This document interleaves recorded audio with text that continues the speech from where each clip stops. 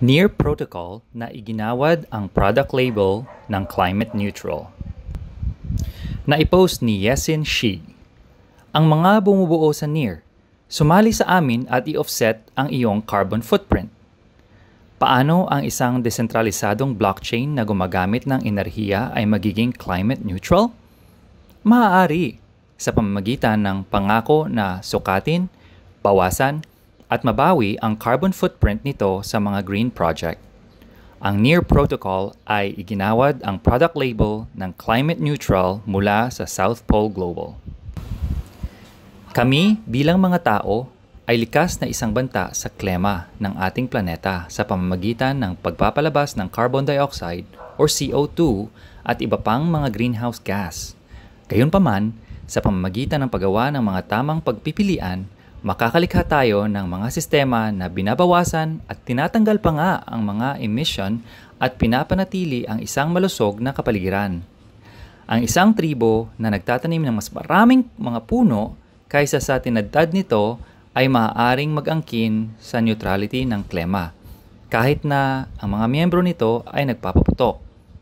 Upang mapanatili ang isang malusog na klema, kailangan nating maabot ang isang net zero na antas ng emission na nagsasangkot sa pagbawas ng mga emission hanggat maaari at pagkatapos ay alisin ang natitirang mga emissions alinman sa pamamagitan ng mga solusyon na nakabatay sa kalikasan o mga teknolohikal na solusyon na kumukuha ng carbon dioxide sa hangin. Kung hindi man, ang antas ng mga greenhouse gas sa kapaligiran ng mundo ay patuloy na tataas na humahantong sa pag-init ng mundo. Bihira at mahal pa rin ang mga solusyon sa teknikal na nakakakuha ng carbon. Sa kasalukuyan, ang kalikasan ay nag-aalok ng tanging makatuwirang mabisang mekanismo ng pagkuha ng carbon. Ang chlorophyll ay ang molekula na mahalaga para sa photosynthesis at ginagawang berde ang ating mundo. Pinapayagan nitong makuha ng mga halaman ang enerhiya mula sa ilaw sa pamamagitan ng pagkuha ng carbon dioxide at paglabas ng oxygen sa kapaligiran. Ang pagtatanim ng mga puno ay isang mahusay na solusyon. Ngunit, ito ay mas matalino at mas mura upang mabawasan ang emisyon ng carbon sa una. Ang mga makabuluhang lugar upang simulang bawasan ang mga emisyon ng carbon ay ang mga system na kinokontrol natin sa ating sarili. Kung hindi namin mabawasan ang aming sariling carbon footprint, maaari nating bawasan ang carbon footprint sa iba pang mga system. Halimbawa, hindi matatanggal ng isang airline ang carbon footprint nito sa mga teknolohiya ngayon.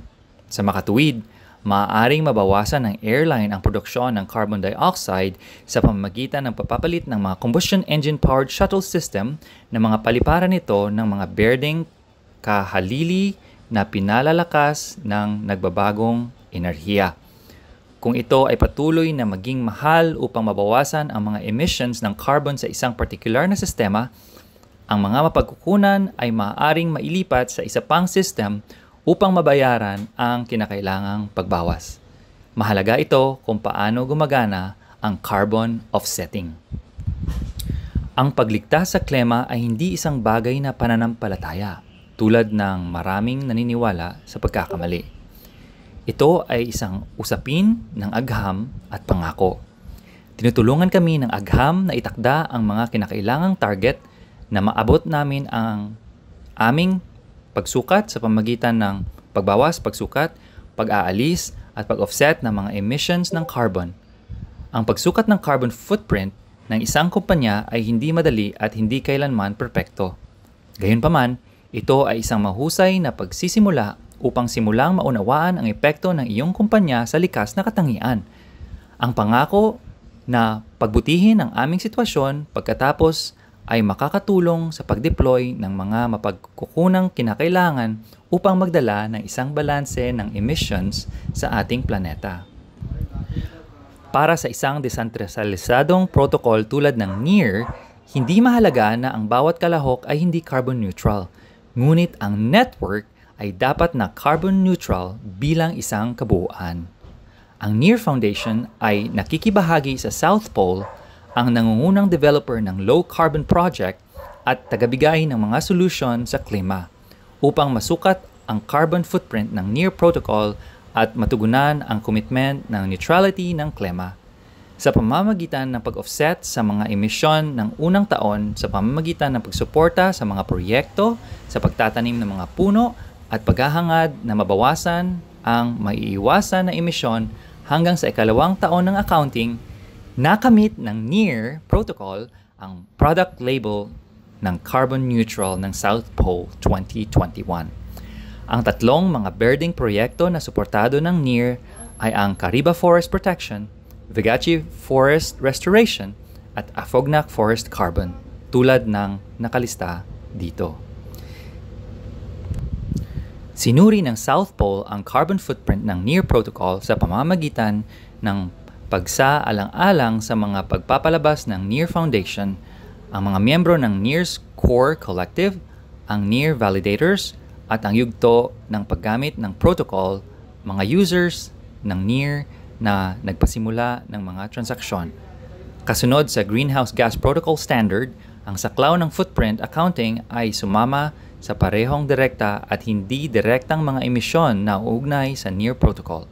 Lahat mula sa paggamit ng elektrisidad, pag-init, paglamig, hanggang sa binilang kalakal at serbisyo tulad ng hardware at cloud service upang makabuo ng basura pati na rin ang mga aktibidad sa paglalakbay, pag-commute at teleworking. Sinuri ang data na hindi magagamit sa gitna at kritikal na sinuri ng South Pole ang feedback at data bago maka, makalkula ang carbon footprint ng NEAR mula sa mga input na ito. Ang isang sorpresa ay paglalakbay sa negosyo at pag-commute ng mga core collective members na nakalkula para sa karamihan ng mga emissions ng carbon ng NEAR protocol. Kasabay nito ang yugto ng paggamit, lalo ang online na aktibidad sa pagligid ng pagsisimula ng transaksyon ay bumubuo lamang ng isang maliit na bahagi ng footprint.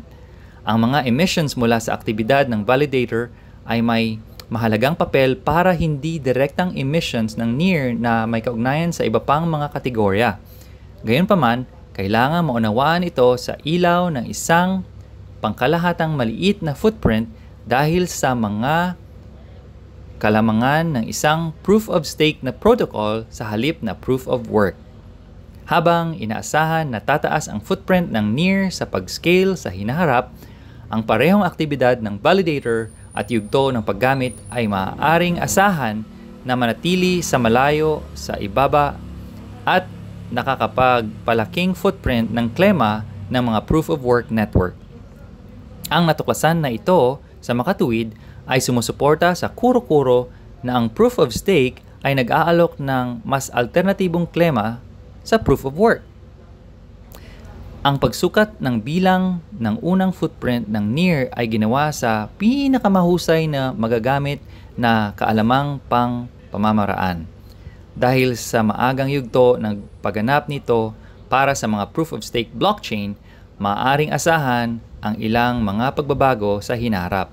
At upang maging ligtas na bahagi, nagpa siya ang NEAR na magbayad ng kaunti pa kaysa sa kinakalkula ng South Pole.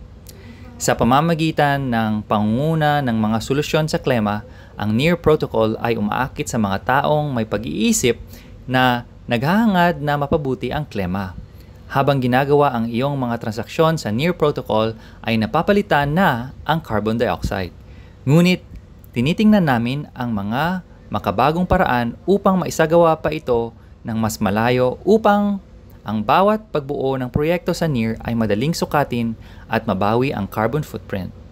Maraming mga ideya ang umuusbong at magkakahiwalay na mga proyekto ay kasalukuyang ginagawang formal.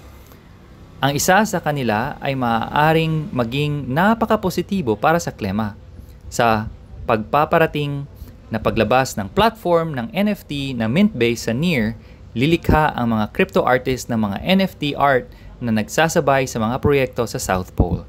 Pagkatapos, ang mga artist ay i-auction ang mga NFT or non-fungible token at ang isang malaking bahagi ng nalikom ay direktang mapupunta sa mga proyekto sa pagbabayad ng carbon dioxide sa mga umuunlad na bansa. Ang mga proyektong ito ay nakabantay sa mga resulta, kaya't ang isang proyekto ay binabayaran lamang para sa pagbawas ng emission nito ng nasukat na napatunayan ng isang independyenteng tagasuri ng third party. Kung nais mong bumuo sa NEAR protocol habang ino-offset ang iyong carbon footprint, lumahok bilang isang artist sa proyekto ng NFT or non-fungible token o magkaroon ng isang ideya para anumang pagkukusa na madaling gawin sa klema, maaring makipag-ugnay sa amin sa climate at dear at near.foundation. Ulit, climate at near.foundation.